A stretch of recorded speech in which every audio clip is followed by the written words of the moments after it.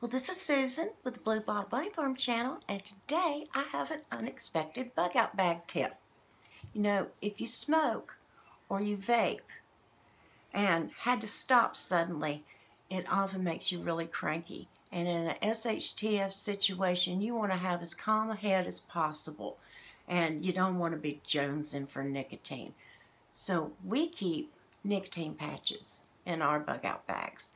Um, it just helps us because we have that security of knowing it, that, you know, if the battery goes dead and we're unable to charge it, you know, we do have a, a solar charger, you know, that can charge up our, our batteries, but, uh, you know, it may be being used for more important life-saving things or you know we may run out of juice eventually and need to just be able to wean ourselves off nicotine. So I have um, nicotine patches in both of our bug out bags.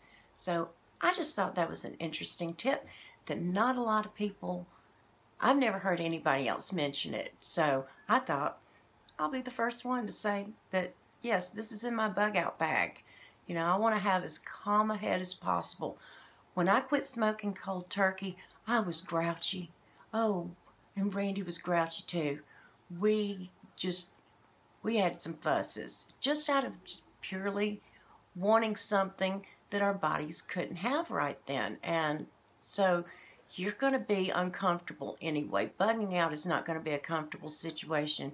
So you want to make yourself as comfortable as possible. You may be in a situation where if you're a smoker, it would be dangerous for you to smoke. Maybe someone's pursuing you or looking for you and you don't want to give yourself away with a smell. There's all sorts of reasons why you would not want to smoke or vape in a SHTF situation, but you don't want to be distracted by that nagging feeling of, of needing something or wanting something that you just can't have. When you get like that, it makes you really, really grouchy, and you're going to want to have as clear a head as possible. So that's why I put nicotine patches in both of our bug out bags.